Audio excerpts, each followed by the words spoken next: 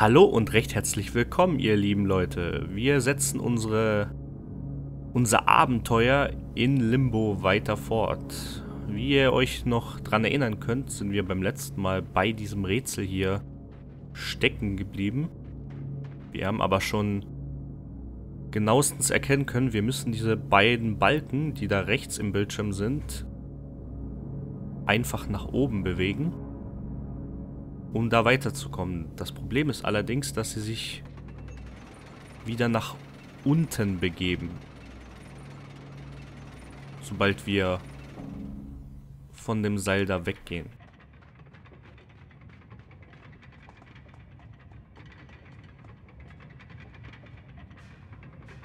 Ich möchte mal was ausprobieren. Okay.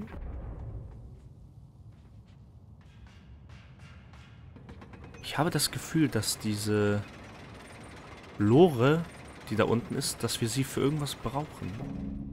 Nur weiß ich leider nicht für was. Ich glaube, das da unten würde uns nicht gerade gut tun, diese zwei Zahnräder zu kommen. Kann es aber dennoch mal ausprobieren. Okay, das hätte ich mir fast schon selbst denken können.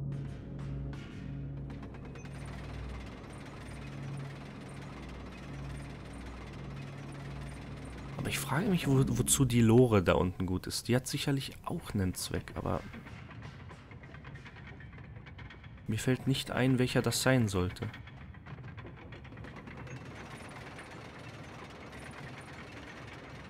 Ah, da reicht mir die Zeit nicht aus.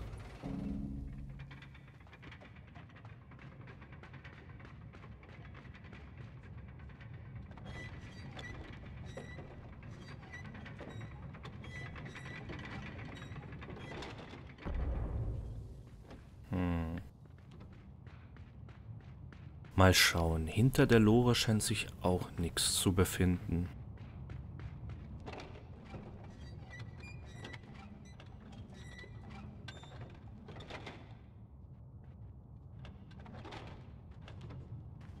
Wofür ist die Lore nur gut? Irgendwas müssen wir mit ihr machen, sonst wäre sie ja nicht hier.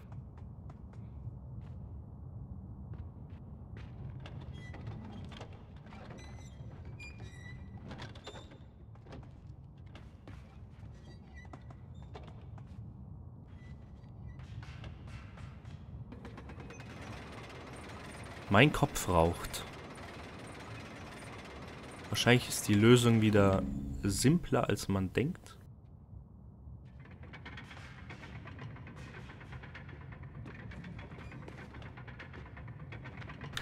Ah, ich habe eine Idee. Ich weiß, wozu die Lore da ist.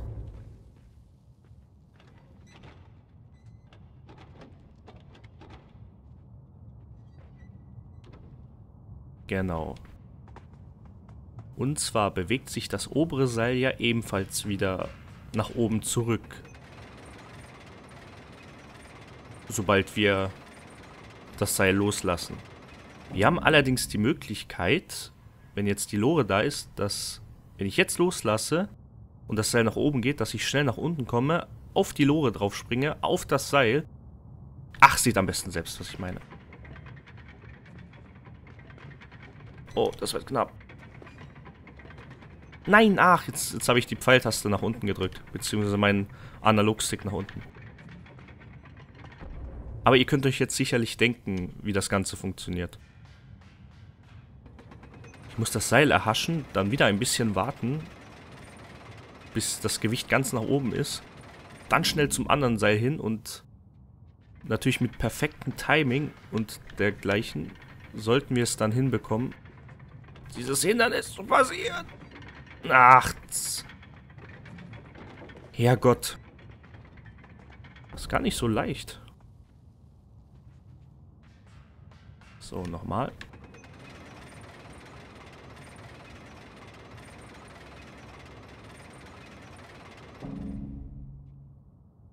Dieser Versuch wird von Erfolg gekrönt sein, das weiß ich.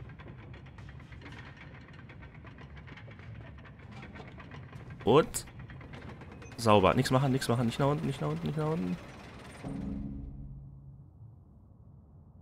So, zum anderen Seil hin.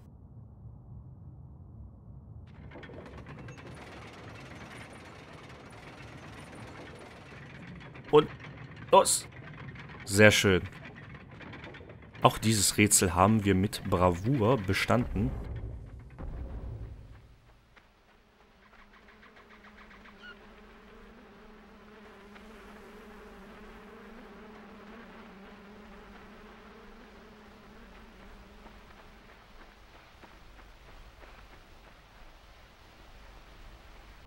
Oh. Ähm. Ich kann nichts machen. Dieses Vieh... Ja. Oh, euch bräuchte ich jetzt da oben.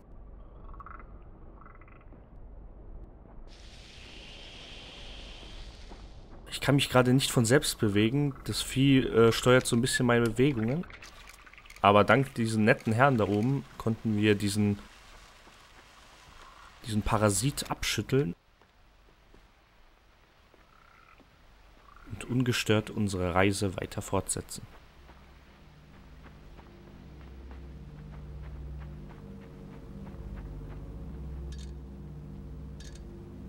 Hm, von der linken Seite geht's nicht. Von der rechten geht's auch nicht. Ah, jetzt funktioniert's.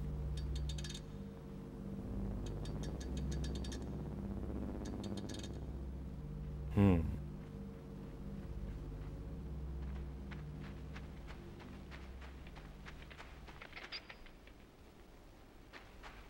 Hey, kleiner Mann, hab doch keine Angst.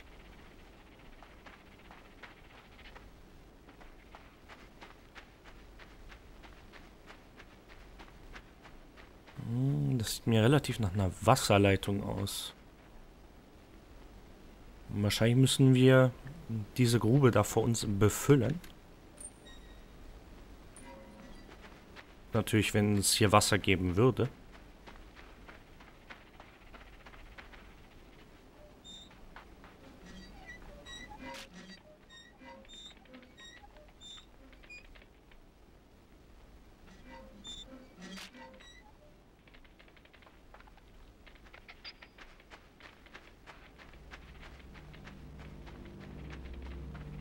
Ah. Hamsterrad lässt grüßen.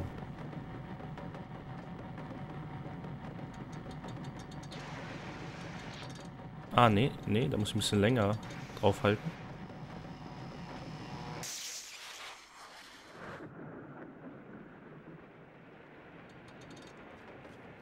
Und wir können Regen machen. So dermaßen mächtig sind wir. Wir können Regen machen.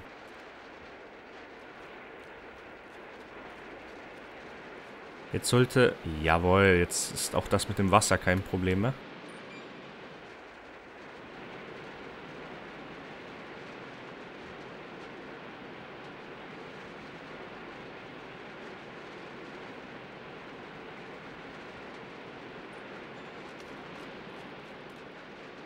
Tja, das Problem, das ich allerdings jetzt habe, ist, der Pegel senkt sich wieder.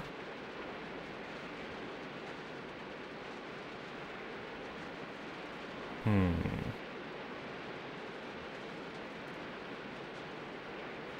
Ah, ich, ich muss wahrscheinlich den, den Baumstumpf ein bisschen in die Mitte setzen. Vielleicht noch ein bisschen mehr. Noch ein bisschen, genau. Jetzt lassen wir den Wasserpegel wieder ansteigen. Und ich dürfte mit dem Floß perfekt dann die Plattform haben, um die andere Seite erreichen zu können, ohne dabei, dass wir jämmerlich ertrinken. Na komm, komm, komm, komm. Und jetzt schnell. Schnell, schnell, schnell, schnell. Zeit ist Geld. Geschafft bin echt erstaunt, wie flüssig das momentan mit den Rätseln geht. Okay, es sind ja nicht die überschwersten Rätsel, aber manchmal tue ich mir da echt ein bisschen schwer. Bei solcherlei Dingen. Aber man soll ja den Tag niemals vor dem Abend loben. Na, was habe ich gesagt?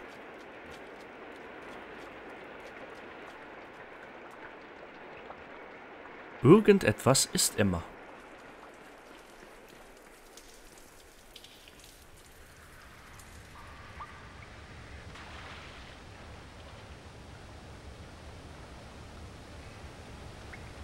So, wir nehmen die Kiste jetzt einfach mal mit. Ich denke, sie wird uns von großem Nutzen sein. Weswegen auch immer.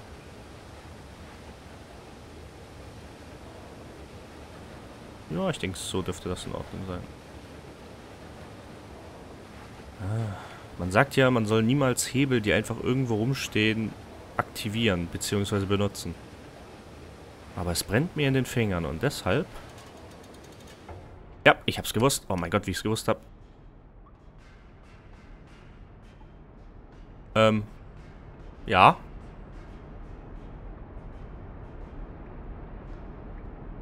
Ach, okay.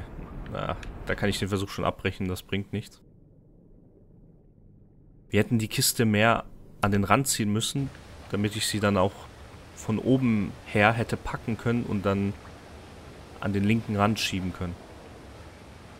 Mein Fehler.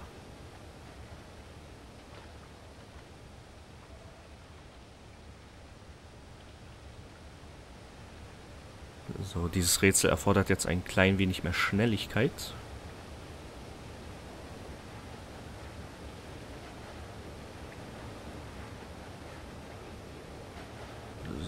So dürfte das reichen.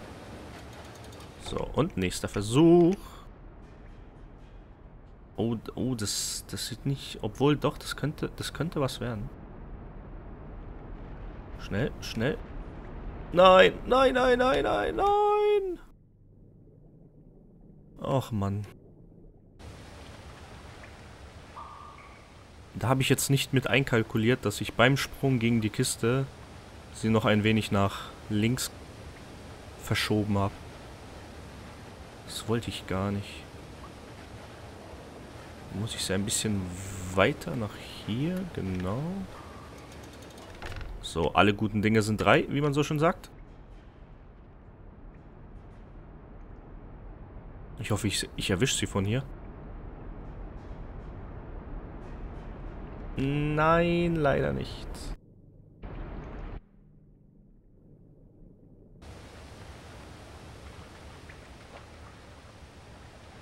Ihr mögt mir vielleicht nicht glauben, aber es ist wirklich schwieriger, als es aussieht.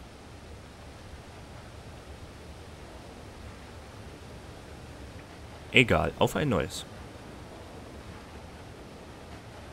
So, diesmal ungefähr. So, das müsste aber reichen.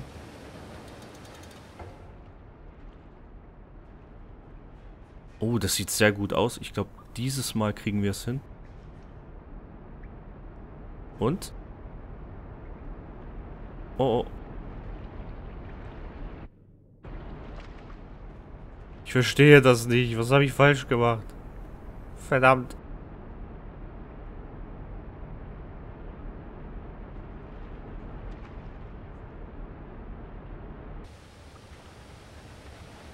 Man hat doch niemals so viel Zeit, die Kiste da wegzukriegen. Jetzt bin ich überfragt.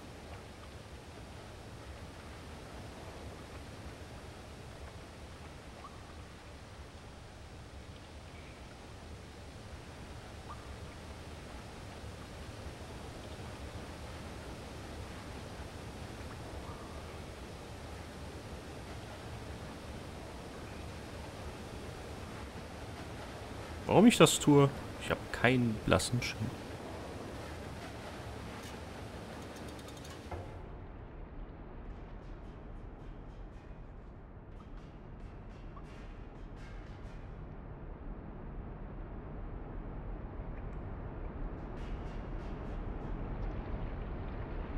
Okay, warum hätte es auch von Erfolg gekrönt sein sollen?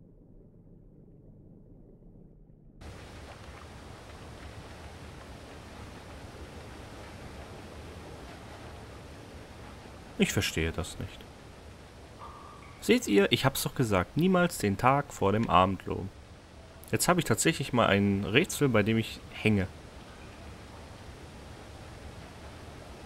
Ich hänge ganz schön tief drin. In der Kacke.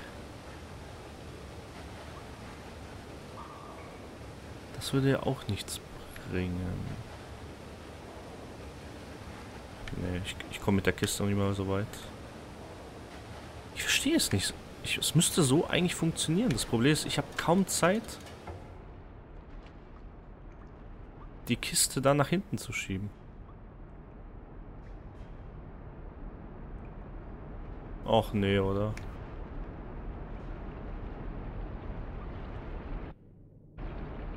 Nein. Äh. Ach, jetzt sehe ich, jetzt sehe ich, wo der Fehler lag. Ich sehe es, ich sehe es. Ihr habt es wahrscheinlich schon länger als ich gesehen. Jo, Hände. Ja. Jetzt kann ich die Kiste da auch vorne lassen. Mann. Kennt ihr das, wenn ihr manchmal vollkommen kompliziert denkt und dabei die Lösung des Rätsels eigentlich viel simpler ist und man sich am Ende des Tages selber einen Facepalm verpasst und sich denkt, oh Mann, warum nur, warum? So. Jetzt werde ich aber einen Besen fressen, wenn das nicht funktionieren sollte. So, schwupps. Ja, das sieht doch schon wesentlich besser aus.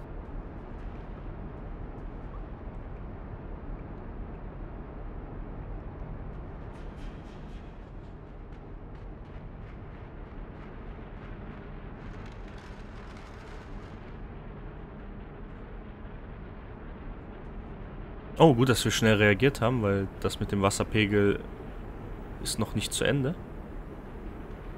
Oh Gott. Nein. Nein. Och. Wir erlitten den Tod. Wegen einem gottverdammten Pixel. Ach, nee, oder?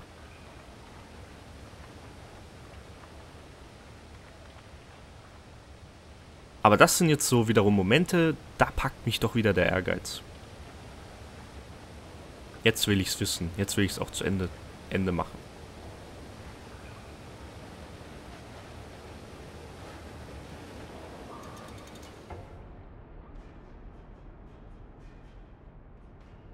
So, Riegel nach hinten. Das können wir sogar jetzt noch sehr gut machen. Bam.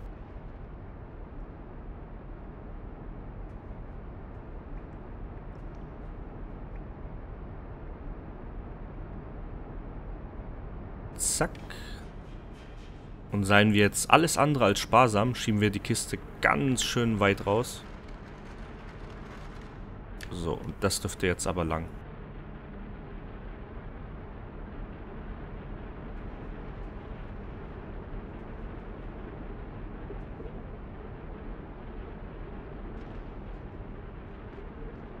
Aufgrund des Loches konnte die Kiste gar nicht so weit nach, nach oben treiben.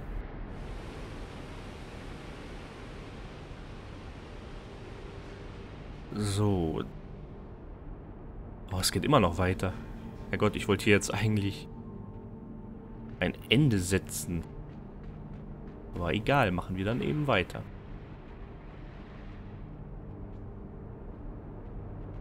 Steigt der Wasserpegel noch? Ich weiß es gar nicht. Hell yeah, steigt weiterhin. Und falls wir da unten jetzt etwas tun mussten, ist es auch zu spät. Oh oh. Ich dachte, das wäre eine Kiste. Nein. Nein. Och, Mann.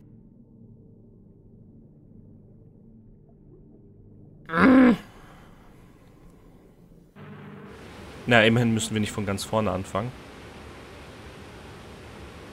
Aber da ich merke, dass mich dieses Rätsel doch ein wenig mehr an Energie gekostet hat, als es eigentlich hätte sein sollen, sage ich, machen wir hier Cut, regenerieren wir unsere Kräfte und probieren dieses Rätsel das nächste Mal aus. Oh Mann. bei dem letzten Rätsel bin ich förmlich baden gegangen. Ihr müsstet meinen Blick sehen, ich schaue gerade drein wie ein begossener Pudel und das Wasser steht mir deswegen bis zum Halse. Naja, besser als das Wortspiel hoffe ich, dass euch die aktuelle Folge gefallen hat. Falls dem so sein sollte, ein Daumen nach oben symbolisiert mir Zufriedenheit. Und falls ihr eure Loyalität ausdrücken wollt, könnt ihr das am besten, indem ihr ein Abo bei uns da lasst und dadurch dann über die neuesten Folgen von mir oder den anderen aus der ULPS Crew informiert werden wollt. Ich wünsche euch was, haut rein, macht's gut und wir sehen uns zur nächsten Folge von Let's Play Limbo. Wird wider Willen. See ya!